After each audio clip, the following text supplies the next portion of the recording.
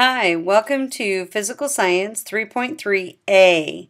Today we're going to be talking about potential and kinetic energy, charts, graphs, equations, and we'll do calculations next time.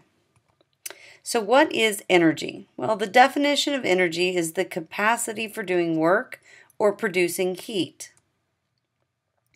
Conservation of energy is that energy cannot be created or destroyed. It can only be transformed from one form into another.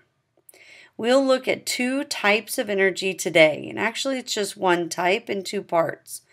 The type that we're going to look at is mechanical energy, and we're going to look at mechanical potential and mechanical kinetic.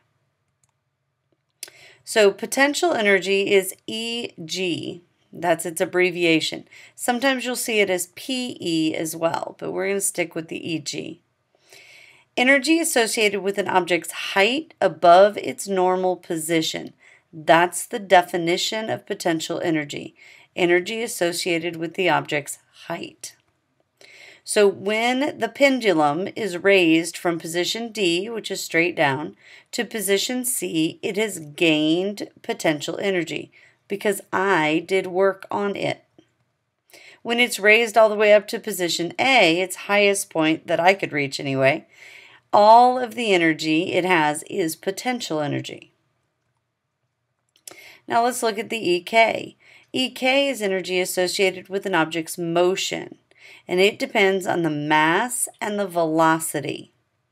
When the pendulum moves from position A to B to C, it gains kinetic energy because it's gaining speed.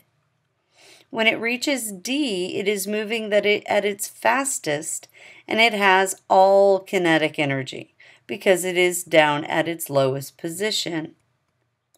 So energy charts, pie charts are a really good way to view the amounts of energy because they represent absolutely all the energy that there is.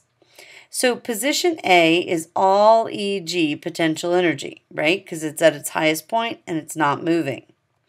D is all kinetic energy because it's at its lowest point and it's moving at its fastest speed. So the pie chart for A would look like this, EG, and the pie chart for D would look like this, EK. And yes, the circles are supposed to be the same. So in this pendulum example, as it swings to its lowest point, it is moving its fastest and all the energy is converted into EK. That means it's going to change from EG to EK. So at points B and C, it's going to be a mix of EG and EK because it's gaining speed, more EK, and losing height, less EG. So B might look like this and C might look like that where the EK is getting bigger and the EG is getting smaller. Although pie charts are really good, most of the time we'll end up using a bar graph, as if all the energy could be represented by four blocks on a graph. So position A would be all EG. Position B, we might say, is 3 EG and 1 EK. Position C would be 1 EG and 3 EK and position D would be all EK. Finally, let's look at the equations. A ball is bounced, so we're going to look at the pie chart, the bar graph, and then finally what the equation looks like. So here's a picture of what we've got. A is just after it leaves the ground. It's going to be going its fastest.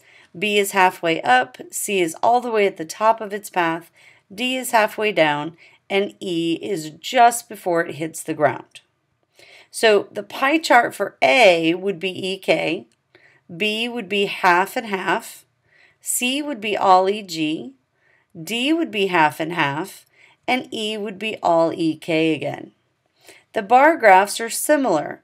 4 EK for A, 2 and 2 for B, all EG for C, 2 and 2 for D, and all EK again for position E.